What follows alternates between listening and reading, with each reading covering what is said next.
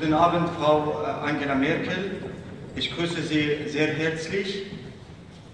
Äh, mein Name ist Alan Pire und ich komme aus äh, Nordsyrien. Ich bin in Deutschland seit zwei Jahren und bin seit acht Monaten CDU-Mitglied.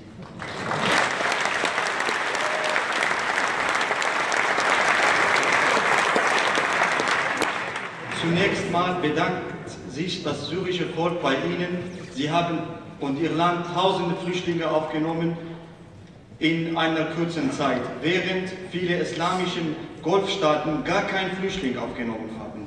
Wir sind dankbar, wir, wir sind Ihnen dankbar.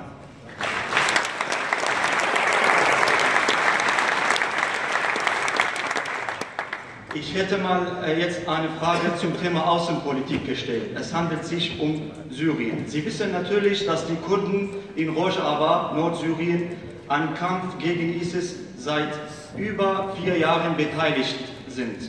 Die kurdischen Kämpferinnen und Kämpfer bekämpfen den Terrorismus, das wollen sie auch, dass der islamische Terror überall bekämpft werden.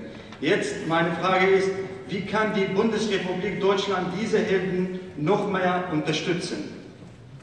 Ich wollte noch wissen, ob Sie den Föderalismus, den von den Kurden vor zwei Jahren ausgerufen worden ist, unterstützen. Stehen Sie zur Seite der Kurden?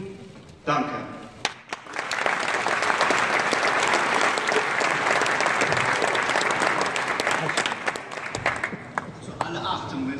Zwei Jahren hier sind, so fließend hier auf Deutsch.